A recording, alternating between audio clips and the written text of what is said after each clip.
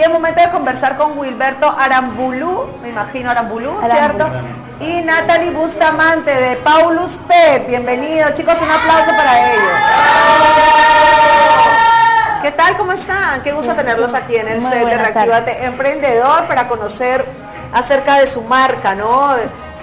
Cuáles son los productos que manejan, qué es lo que ofrecen, por supuesto, al público, las bondades de este emprendimiento, las ventajas de, trabajar o de comprarles a ustedes el servicio o el producto, que es de lo que nos vamos a enterar en este momento.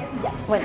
Bueno, este, en primer lugar, este, Paulus Pet nace eh, de la idea de mi hermana Jenny Bustamante y yo, de poder llevarle a los animalitos un servicio de calidad eh, con el trato que le damos nosotros a nuestras propias mascotas y así poder brindarles un buen diagnóstico, un momento de relajación al momento de poder bañarlos y que ellos se sientan a gusto. de eso nació la idea de crear Paulus Pet.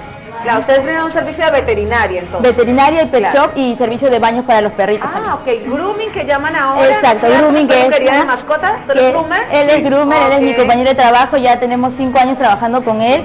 Y es mi mano derecha. Sí, yo soy médico veterinario. Médico veterinaria, qué profesión tan linda sobre todo en la que se requiere mucha vocación, mucho amor hacia, hacia los animales, ¿no?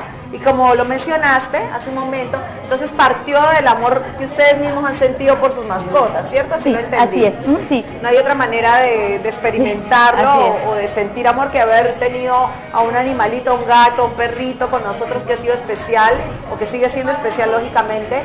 Y de ahí pues ya seguramente también por tu profesión has querido ya ejercer de esta manera y nace así Paulus Pet. Entonces el servicio es de veterinaria, de baño, de peluquería, y de algunos artículos, y de productos también. De algunos accesorios. Está completísimo este emprendimiento, ah, me encanta.